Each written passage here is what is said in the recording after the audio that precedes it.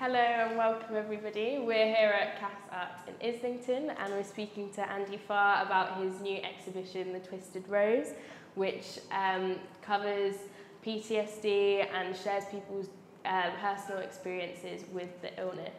And I'm Lisa Woods. I work with Break Forth, uh, which is a mental health agency based predominantly in Norfolk and Suffolk at the moment. However, we aim to expand around the country.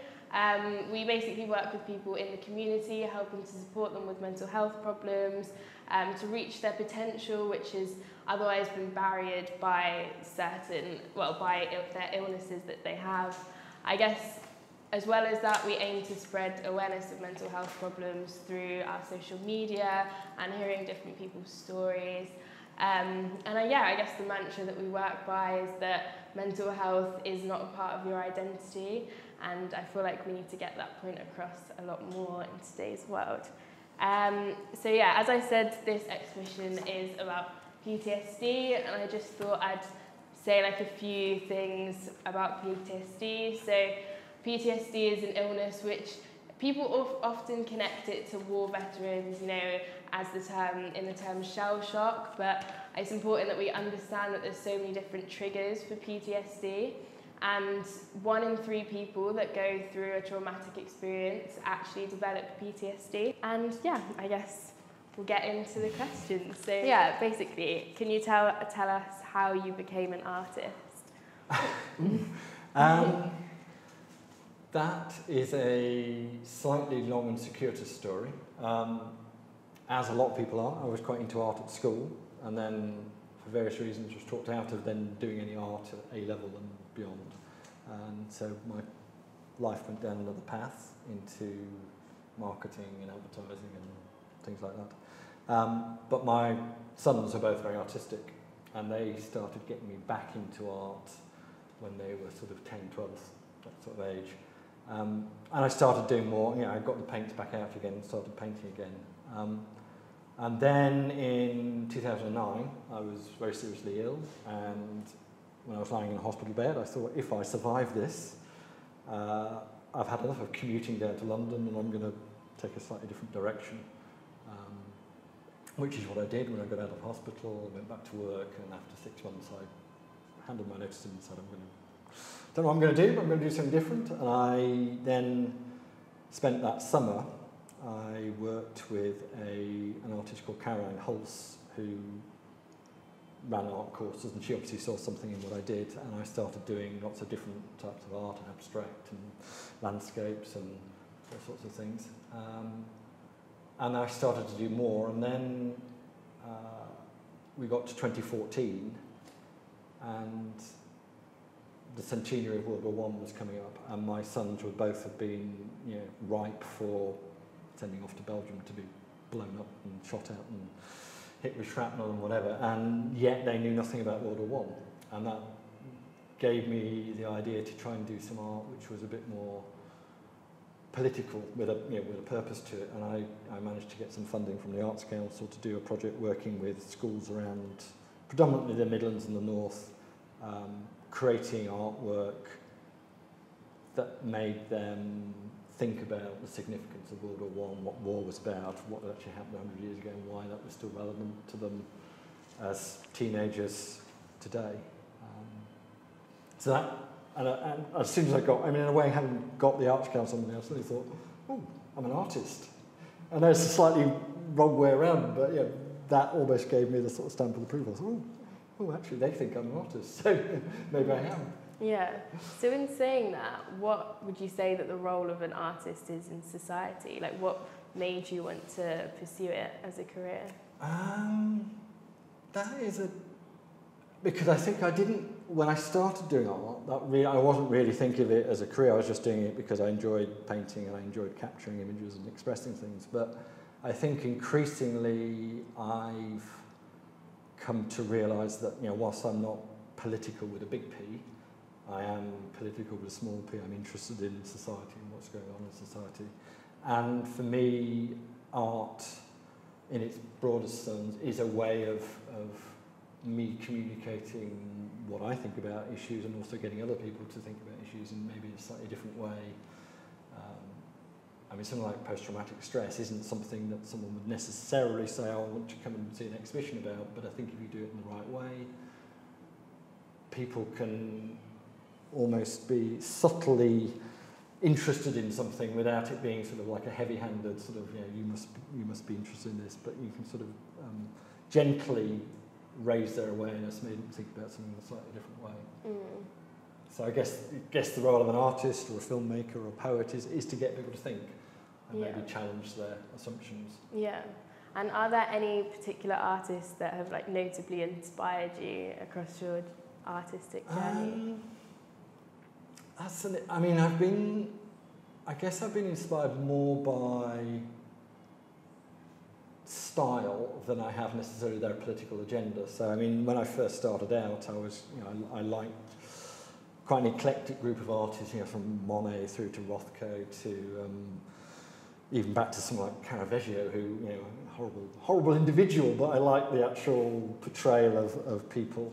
Um, but while I was doing the MA, which I started doing uh, during the World War One project, uh, the tutors there introduced me to some of the Eastern European artists. So there's one artist in particular called Daniel Pittin, who I really like, and he's a filmmaker as well as an artist. And so the, the, the, his paintings tend to have lots of layers and a sense of time to them, which I also try and capture to some degree in, in what I'm doing.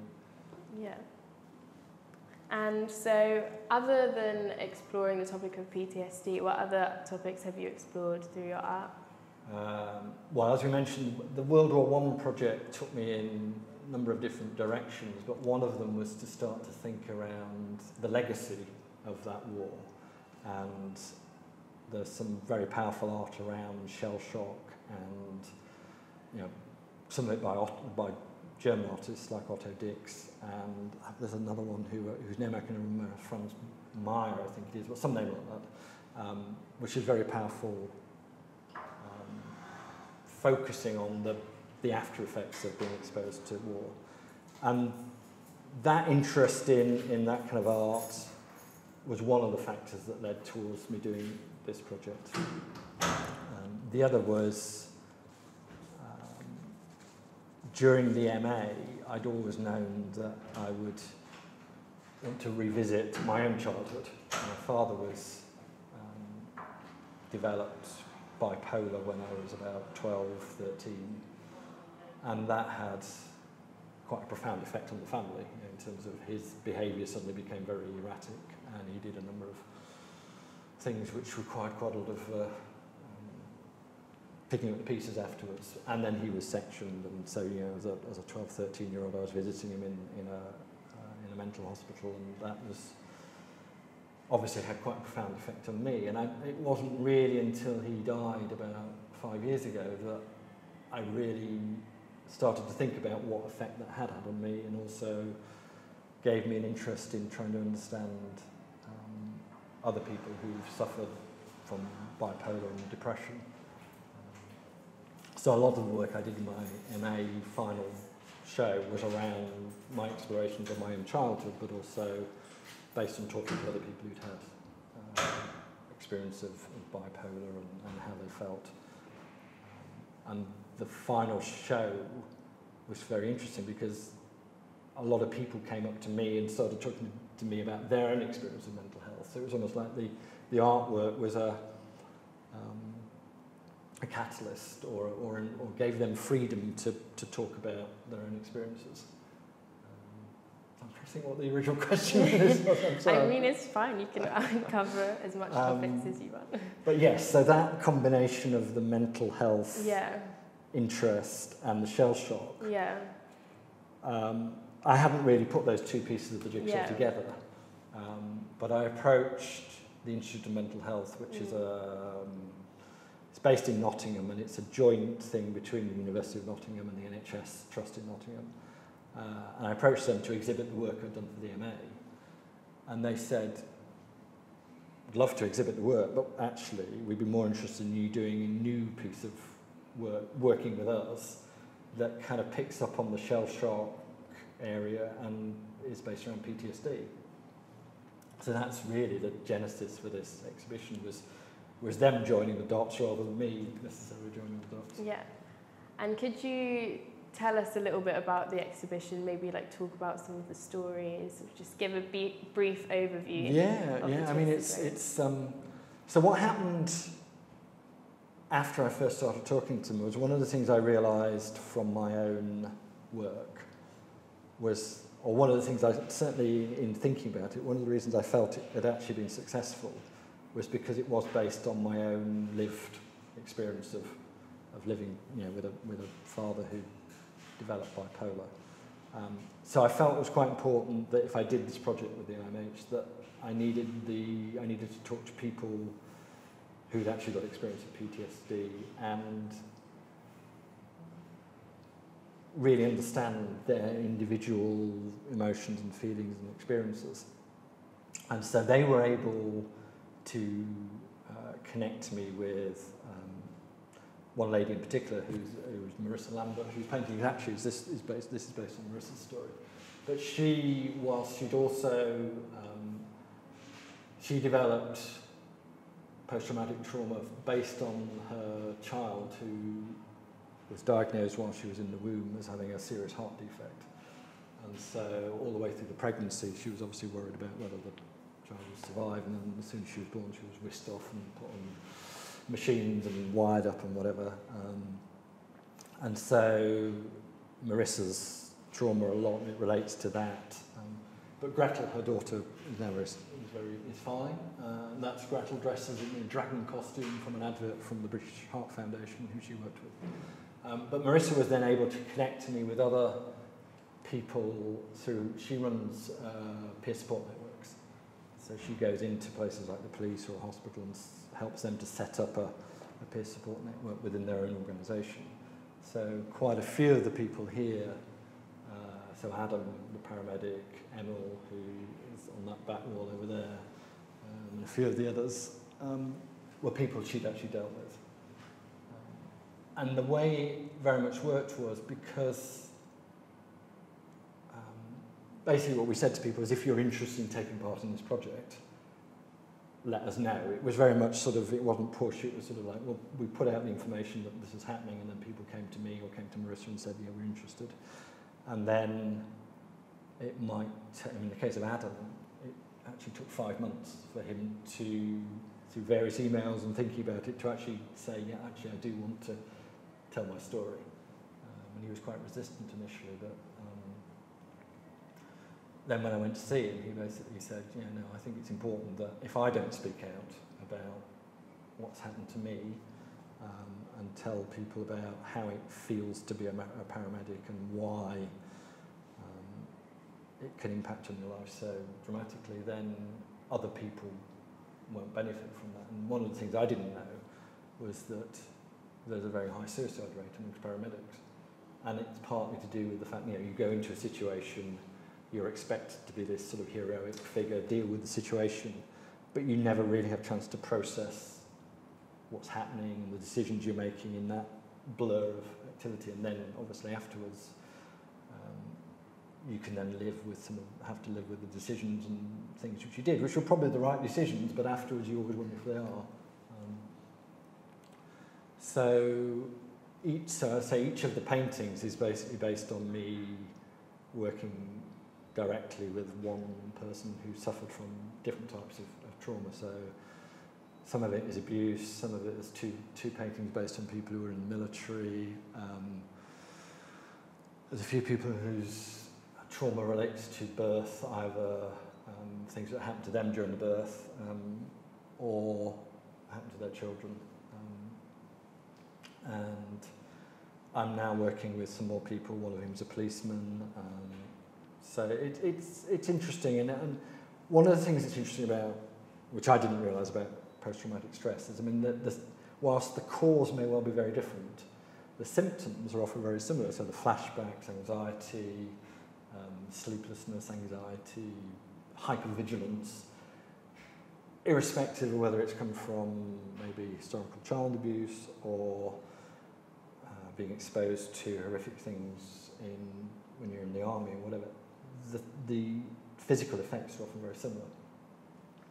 Um, so what I've tried to do very much with the paintings is to capture that emotional response to what happened, rather than necessarily dwell on the details of the the trauma itself, but to focus on how people felt, but then also what effects recovering from trauma has had. And this was something which I really didn't understand, I think, going into the project, that actually, whilst obviously you never forget what's happened to you, you can actually recover from it. And there was actually a quote um, from one of the books which I read, which I'm, I'm just going to read out, um, because I think it applies to quite a few of the, the people I've worked with. And this is from a book by an American woman called Belleruth Naparstek, um, who doesn't seem to be that well known over here, but is actually quite big in, in, in the US. But she says, in spite of the terror and sorrow, the guilt and the shame and the numbness and the rage, survivors can emerge from their PTSD experience with a greater ability to feel deeply, experience joy, savour the preciousness of life, and appreciate beauty in a way they never did before. Able to empathise with a deep, with a depth of compassion that wasn't accessible to them previously. And that, I think, is quite interesting. And certainly, so the painting at the end, uh, which is a painting of Danny McNamara, who some people may have heard of. He's actually in a band called Embrace that is just coming up to its 20th year anniversary. And he basically uh, said that it, having recovered from his trauma, he became more creative and it sort of unlocked whole seam of musical expression that he didn't feel he had before. So whilst you'd never want to someone to go through traumatic situations, the process of recovery can actually be um, genuinely life-changing, um, which I think makes it quite an interesting area to work in because you know that if you can help people, there is an opportunity for genuine growth and recovery and for people to move on with their lives and maybe move on in a, in a different direction from the one, the one they were in already. Yeah. And when you were creating this art, did you yourself feel like personally like a lot of pressure to depict their experiences in like a dignified and an accurate way? Um, yes, ab- absolutely. I mean, I think the thing normally as an artist, you're creating work in a, in a bubble, and you're creating it for yourself, and then you expose it to an audience, and you hope that some people will like it. Um, but to be honest, you're almost creating it out of your own head, and you, and you you judge it on your own merits. This was quite different in that I felt very much there was there was another person involved, and I needed to interpret their story in a way that was both respectful to them, but wasn't also, but also added something to what their experience had been. So it wasn't just a case of painting exactly what had happened to them. Um, and so, you know, the first painting I actually showed to somebody was was um, was a girl called Rachel who had suffered um, birth trauma. And I remember know, the sense of trepidation when I sent her an email with the JPEG attached and said, this is, this is where we got to. And she was the first person who came back to me. And actually, I will read out another quote if I can find it. Because Rachel was, Rachel's response was actually very helpful. And it actually encouraged me to carry on. It sort of made me think, oh, actually, I'm, I am actually doing something potentially quite powerful here. So she wrote back to me and said, um, I'm actually speechless. I cried. The colours are perfect. The me looking round the corner completely sums up that feeling of being lost in a grey world, feeling frightened of everything. Welcoming Rachel is the old one, old me too. It's like you looked into my head and painted. It's honestly amazing well, I clearly hadn't looked into her head, but somehow I'd tapped into something that she was feeling. Yeah. Um, I went to bed thinking about the painting, and it's almost like now there is a third Rachel, the one I am now, who's able to connect with both the figures in the painting, which is really nice. Today also happened to be my last counselling session ever, so it's all come together really nicely. And so, you know, we're getting that response back. I mean, you think, well, actually, uh, in a way, the individual audience is probably the most important audience for this, which wasn't how I'd gone into this. I was thinking initially that this would be. I was working with people, but actually the audience I was trying to reach was, was the general public in terms of trying to give them a greater understanding of, of post-traumatic stress. But actually, I think the most important audience has been the individual people I've worked with. Um, and I mean, Adam, I mentioned Adam earlier on, what really does feel like the painting gave him some confidence to actually go out of himself. And he, you know, that painting he had published in a paramedics newsletter, and there was an article about him. And oh, he said, uh, if I can find the Adam quote. Um,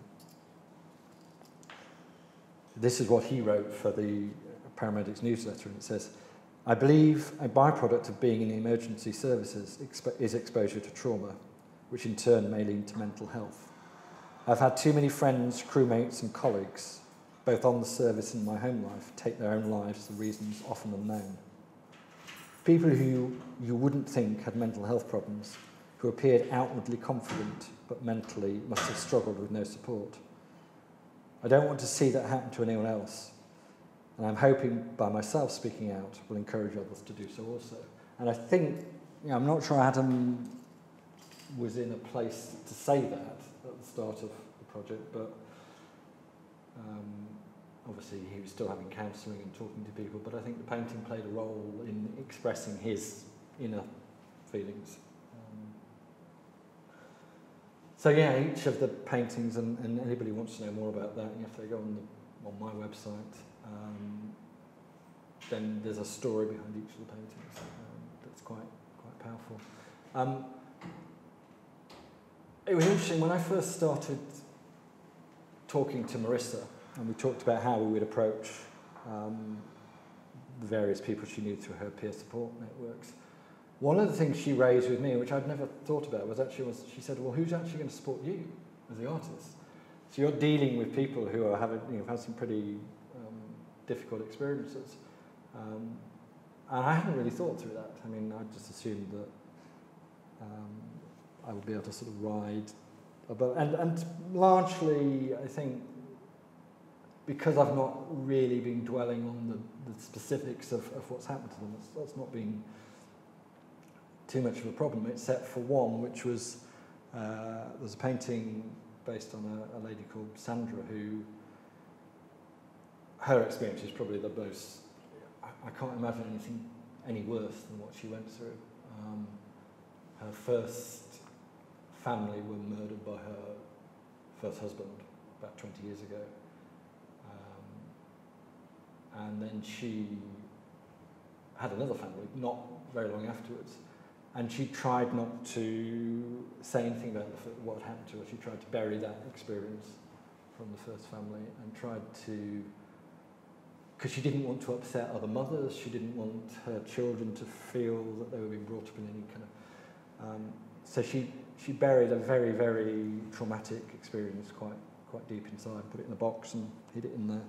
Um, and then a combination of events happened about 10 years later. Her father died and she suffered a debilitating back injury. And that seemed to unlock all of those memories and she just became overwhelmed by the flashbacks and the anxiety and started self-harming and drinking too much and just generally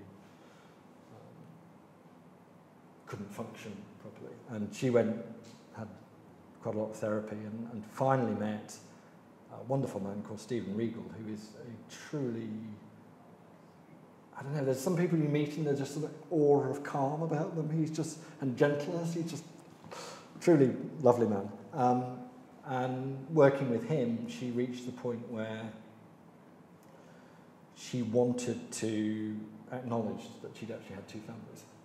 Because one of the things she said was that in her house she didn't have any pictures of the second family because she didn't have any pictures of the first family and she couldn't somehow in, out of guilt for the first family she didn't have pictures of the second family. But she now wanted to actually say um, acknowledge to the world and to the people she knew that actually she had had two families and, and sort of almost celebrate the life of the first two children. So out of that um, conversation, which initially happened through her, Stephen Regel, her therapist, um, I created a painting which is essentially two family photograph albums, one which features the first family and one which features a second family who are now grown up and um, very happy and, and successful children. Um,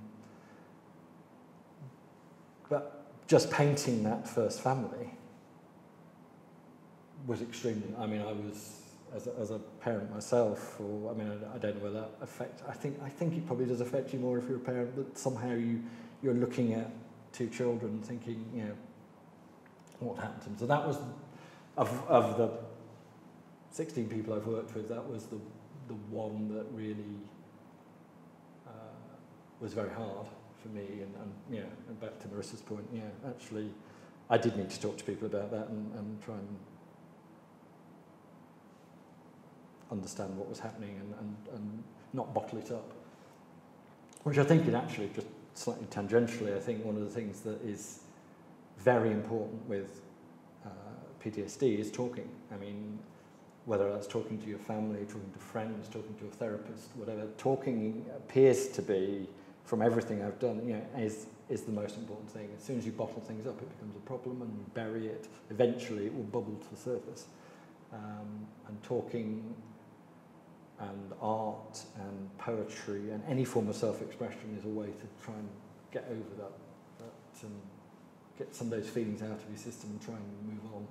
Um, and I think what's interesting is the work that Marissa does through peer support seems to be as powerful, if not more powerful, than, than actual therapy. So if you can talk to people who you feel understand and have some knowledge of what you might have been through, that seems to be the most powerful form of conversation. So hence, paramedics talking to paramedics, police people talking to police people, soldiers talking to soldiers, um, mothers talking to other mothers, seems to be one of the most powerful ways of, un of unlocking things and moving on with your life. You mean, I mean, as I think I said before, you don't forget what's happened to you, but you can reconcile yourself to it and acknowledge that it's happened and then um, move on and live, live your life again.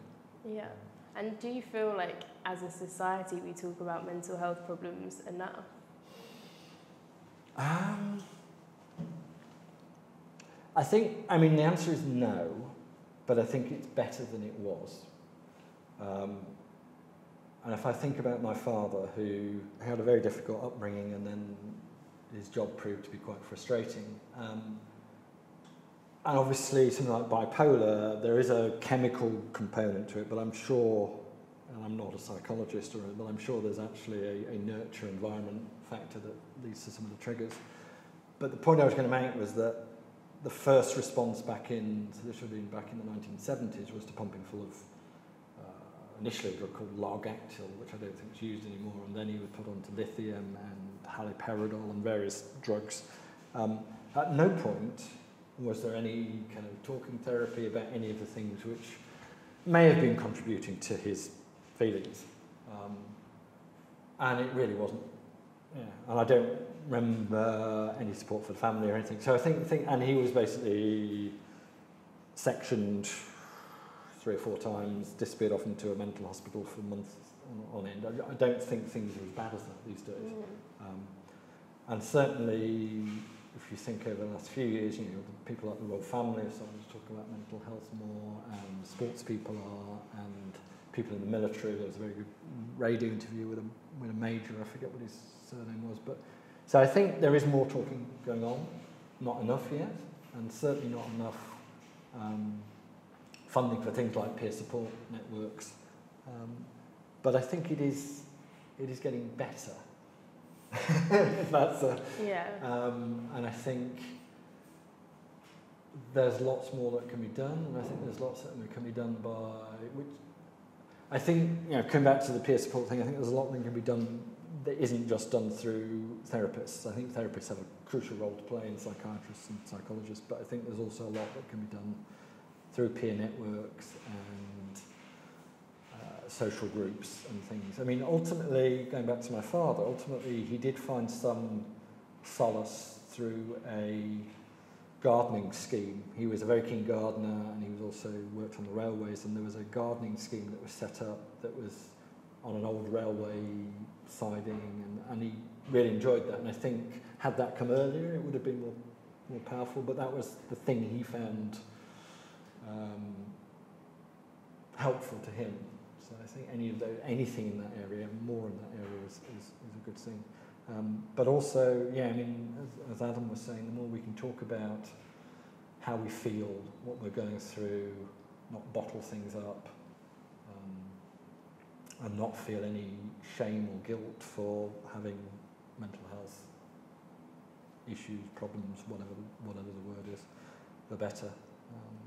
And hopefully this exhibition does a little bit of, Yeah. little bit of helps a little bit to get people to to understand Yeah. that anyone uh, anyone can go through a traumatic experience um, and I mean certainly post-traumatic stress is just a it's a physical it is actually a physical response to the fight flight response and the freezing response which are natural bodily responses to being in danger. Um, and then what happens is the body just gets locked into a cycle and somehow you most people most people after a few months of something really bad happening to them generally can come to terms with what's happened to them. But some people it gets through no fault of their own. They get locked into their brain gets locked into a kind of circular path. Um, and so things like art and poetry and whatever can help to break that Yeah. cycle I think Yeah.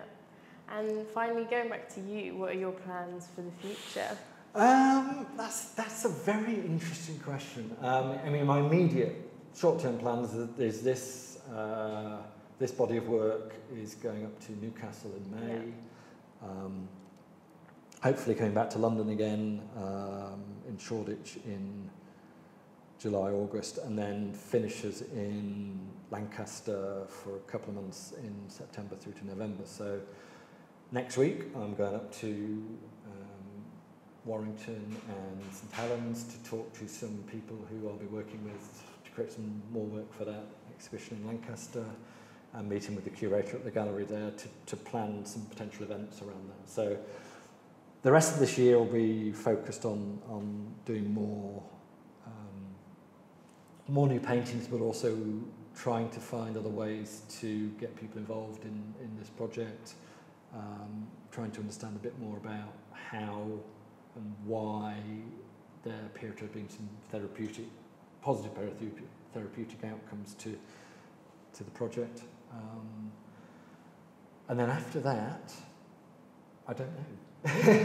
I don't know at all. I mean, I, um, obviously, I've, I've, I do have a, an interest in mental health, uh, and if opportunities arise to work with other organisations or bodies, then I will, I will take those. Um, but yes, I'm not exactly sure. Actually, uh, there's a potential project which, fingers crossed, will get some funding working with North Middlesex Hospital, who've just opened um, a mental health A&E unit, which is quite an interesting idea. So it's a separate to the main. Well, it's, it's a separate block within the main A unit, A&E unit of the hospital. Um, so I've been talking to some of the peer support workers there about creating artwork for that, for that building. Um, but we'll see. Yeah. See where the wind takes. See where the wind takes me, yes. I mean, it might be nice to do some painting which isn't quite so serious Mm. at some point. yeah. But on the other hand, it's. Um, I, my son said this to me. He said, I can't remember exactly what he said, but he said um, it was because he's doing fine art at Glasgow, and, he, and in his application to it, he basically wrote one of the questions why do you paint? And he basically said, painting is my way of communicating.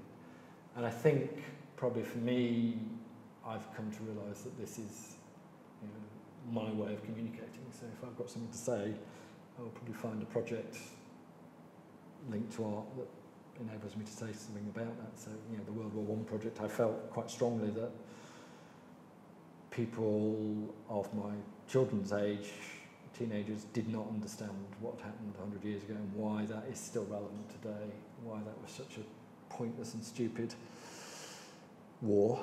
Um, and so if other issues come up like that, I can imagine, heaven forbid, there might be something based on Brexit, which um, Yeah. which I can I mean, talk about in some way. Um, so I don't know. We'll, we'll see. We'll see what happens. But I suspect there will be some more socially, socio-political based artwork coming along at some point. Thank you Thank very you. much.